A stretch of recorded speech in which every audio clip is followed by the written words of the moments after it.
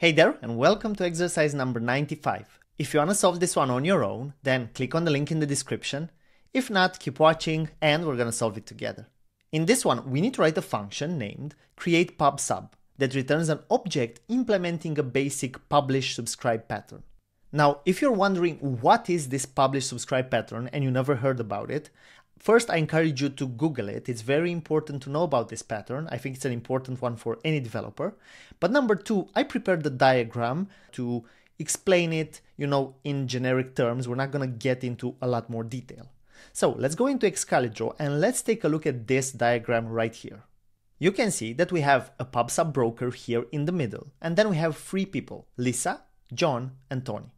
Now, you may see that there are no lines connecting those people, right? So Lisa doesn't speak directly with John or Lisa doesn't speak directly with Tony. Instead, they are all connected to this PubSub broker. So this pattern is about objects like interacting with each other's with each other, sorry, but not directly, but via a PubSub broker. And how does it work? You can see that Lisa has a text that says, "Hey, Lisa is going to subscribe to call.lisa." And this is in quotes. So this is an event. You can say, well, whenever Lisa is being called, we're gonna get this call Lisa event, and Lisa is interested in it, so she wants to subscribe to it. Then John is interested when he's gonna get called, so John subscribes to this event. And then also Tony subscribes to call Tony event. And all of them subscribe in the PubSub broker. Now, what happens when, let's say, John wants to call Lisa? So let me just do the magic of undo redo. John is gonna call Lisa and to call it is gonna publish an event. Now, when that event is gonna get published, you can see here that the PubSub broker is gonna say, hey, the event is call Lisa. Lisa is subscribed to it, so I gotta notify it. So the PubSub broker is gonna notify Lisa of this event. Also, let's say Tony wants to call John. Tony is gonna publish a call John event because John is subscribed to it, the PubSub broker is gonna say, okay, I got this event from Tony. I have John who's subscribed to it, so let me notify him. So it's gonna notify John about this event, and John is gonna do, well, whatever he wants to do, right? So the idea is that we have some objects that interact with one another, and they say, hey, I'm interested in this event. I'm interested in this other event, and so on. And then when the objects want to interact, they go via the PubSub broker and they say, hey, I want to publish this one. And all events that are interested in it will get notified, and so on. So Lisa is not going to get notified when we call John, or Tony is not going to get notified when we call Lisa, right? Everybody gets notified only about the events they're interested in. Now, this being said, let's go back into the uh, platform and keep reading. So this object, the PubSub broker that we just saw, should have the following properties. The first one is called publish and is a method used to publish an event. Again, who's going to publish? I mean, everybody can publish events, right? Any object that has access to the PubSub broker can publish them.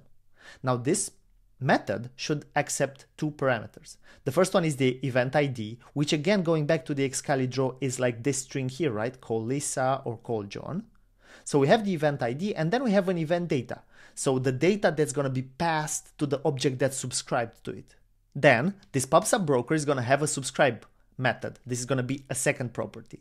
So it's a method used to subscribe to a certain event. So this is what Lisa is going to do to subscribe to call Lisa, John is going to do to subscribe to call John, and so on. This method should accept two parameters. The event ID, again, going back in Excalidraw, we have the event ID here, and a callback that's going to get some data, which is going to be this event data. So the callback is again a function that will be called when the event is published. And of course, it will receive one parameter, the event data passed when we publish the event. So this event data here is actually this data that's going to be sent on the callback. Now, this subscribe method should return another function called unsubscribe that can be used to unsubscribe from this event. Now, I know this might be a bit complicated, so let's look at the example below.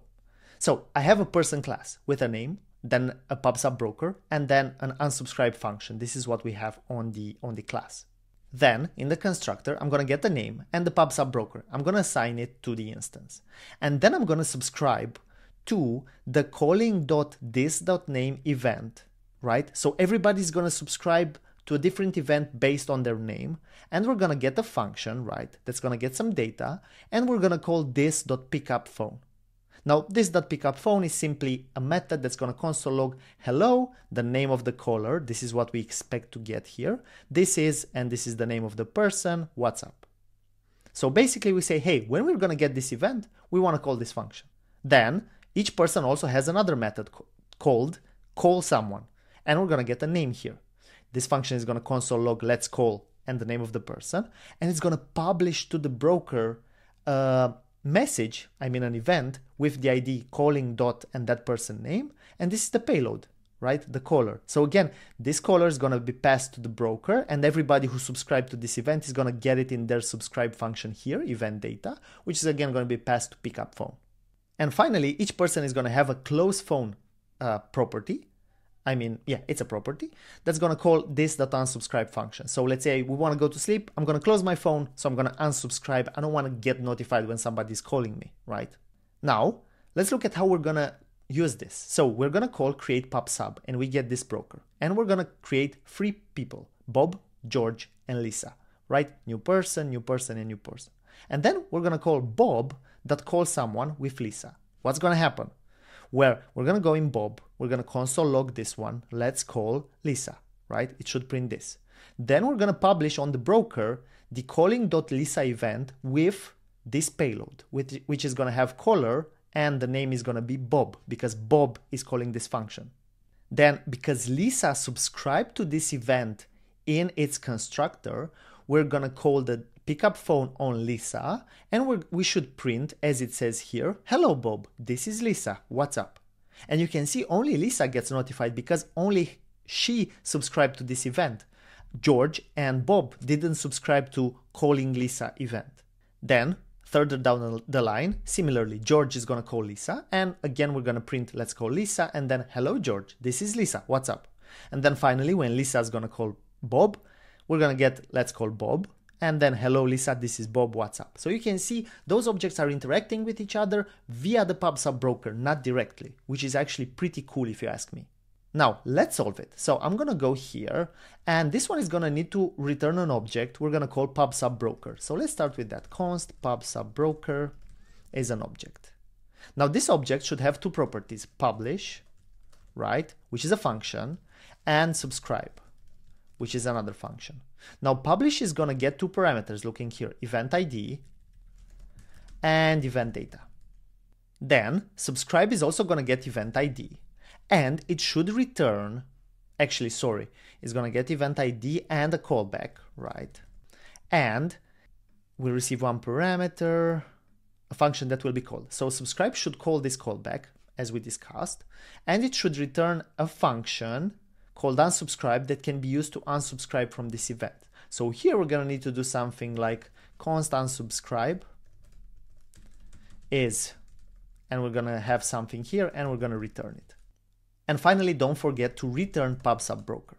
So we have like the boilerplate done. We have the properties, but we don't have their implementations yet. So let's do that. And actually, you're going to be surprised how little code we have.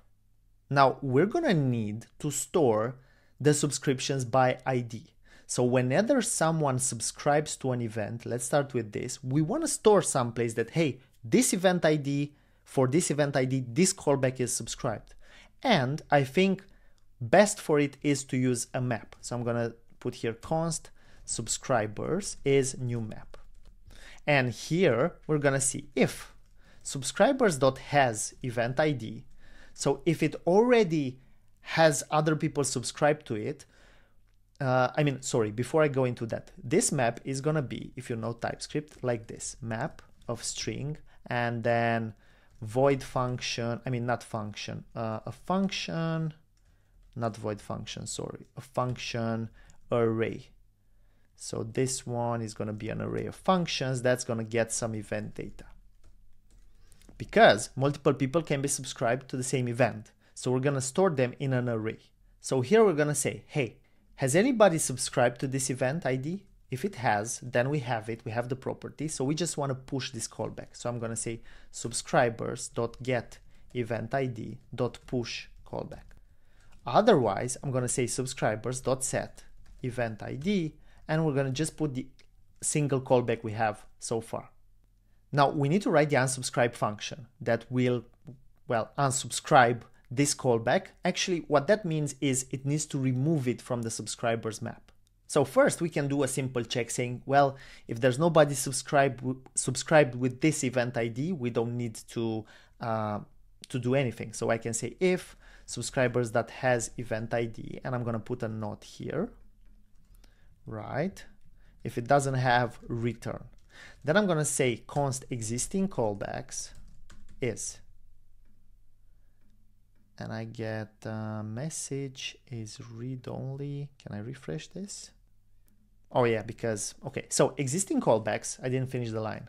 Existing callbacks is going to be subscribers.get event ID.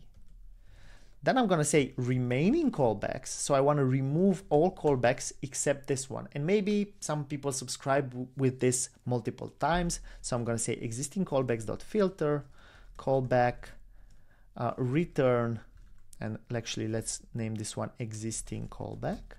I'm going to say return Existing callback is different than callback. And then finally, I'm going to say subscribers dot set event ID remaining callbacks. So I'm going to say, hey, I'm going to take the existing callbacks. I'm going to filter all of them that are not this callback.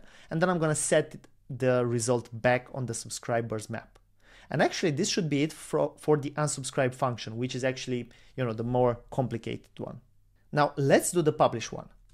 So for publish, I need to find all callbacks for this event ID and call them with this data. So I'm going to say const existing callbacks is, and I can do subscribers.get event ID. And this one is going to get, well, it's going to get the value. And if it doesn't exist, it's going to get, I think, null or undefined. Well, let's just check.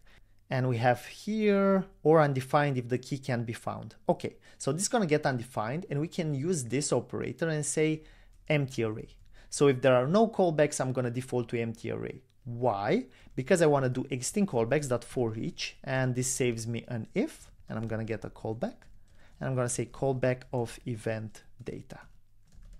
And to be honest, this should be pretty much it, right? So in the publish, we just get the callbacks and we call them with this data. And in the subscribe, we make sure to add this callback and also to return an unsubscribe function that, well, removes it.